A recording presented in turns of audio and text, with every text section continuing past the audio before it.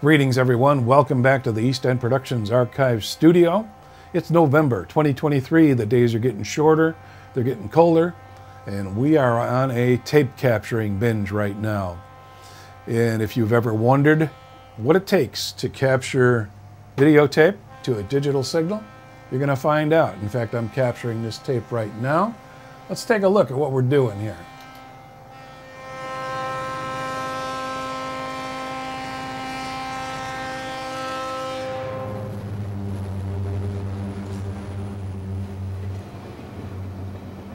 It's a very cool process.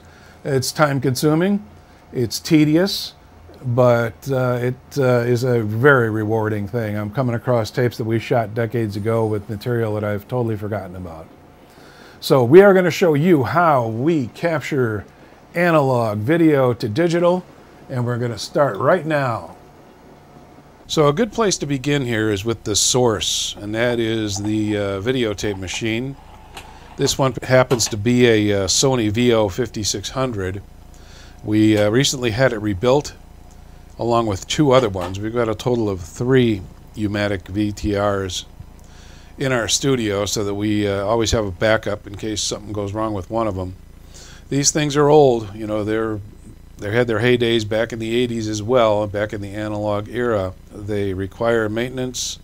Uh, in many cases, the ones that have been sitting around have to be completely rebuilt. Uh, they need to be used. They need to stay active, and uh, the longer they sit, the more problems they develop. Moving on from the uh, videotape machine is our capture card. There's a lot of cheap capture cards out there for VHS, but we use this Pinnacle Studio capture card. It was one of the first ones that was ever really produced. And we use it primarily because it's built around the 720 by 480 format that VHS and U-matic uses. The modern capture cards, they're all in a higher resolution, and they capture these, these old videos at a higher resolution. And when they do that, it just really uh, pronounces all the artifacts and all the, all the flaws on the video. Whereas if you capture it at its native state, the 720 by 480, you have much better picture quality. The next step is the actual capture program. We use OBS Studio. OBS Studio is a free software. A lot of guys use this for live streaming, but it is also an excellent program to capture video with. From the capture program, the next place the video signal goes is to our waveform monitor. Now the waveform monitor, the best way for those of you who are into photography, the best description I can give you for this device in modern terms is a histogram. It really provides a great deal of exposure control. The color side of the equation is managed by the vector scope. Now, the vector scope gives us our color references and we can adjust the tint, we can adjust the color level, the saturation. The reference point that we use are the color bars. And that is the reference that we use to set our vector scope and our waveform monitor. If we get those values dialed in, then we pretty much have a real excellent baseline for the video. And uh, then from there, we've got that baseline that we can tweak one way or another if we need to. The next place that the uh, video goes, the video signal, goes to our time-based corrector. And this is really probably the most important machine that we've got for quality video capturing. The TBC, it adjusts video levels, it adjusts color levels, it uh, adjusts color saturation. If you do your own video capturing, try to find yourself a time-based corrector and the, even with the VHS you will get some really you'll get much better results. All right, from the time-based corrector the signal goes to our hard drives. We have a 4 terabyte hard drive on our computer here, and that's where the captured images go, and they are huge files. A 20 minute U-matic tape usually averages about a gig of data.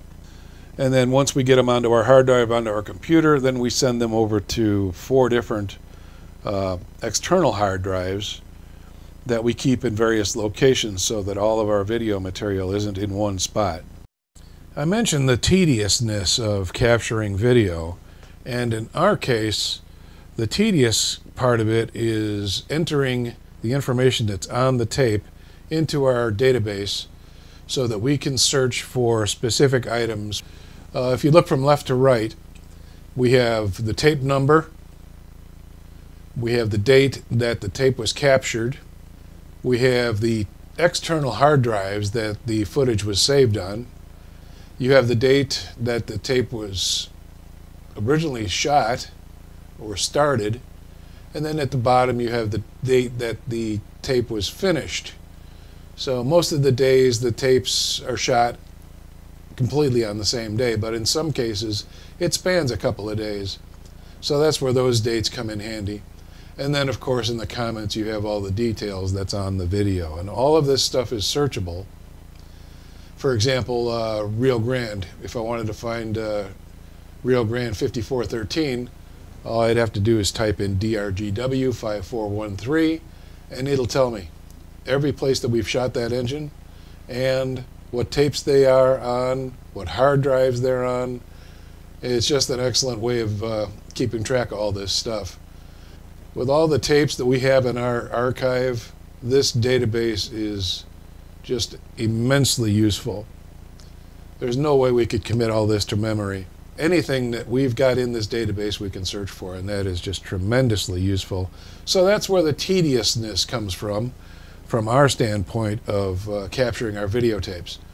And I strongly recommend that if you capture videotapes, take this extra step, log your videos into a database so that you know where to find them, where they're stored, and this is an excellent thing to do with your slide collections as well. So yes, it's tedious, but man, is it ever worth it.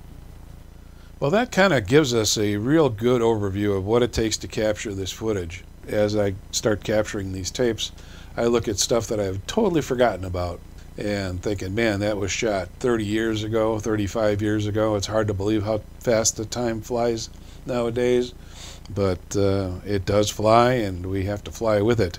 If you capture your own video, I sure would like to know how you do it. The whole purpose of all this is for historic preservation. The stuff in our library and even the stuff that people are shooting today, that's going to get rare someday. That's going to become historic. All right, well, that's going to do it for our video capture program. I hope you enjoy it. I'm going to get back to editing programs for you guys. So like and subscribe and thank you for watching.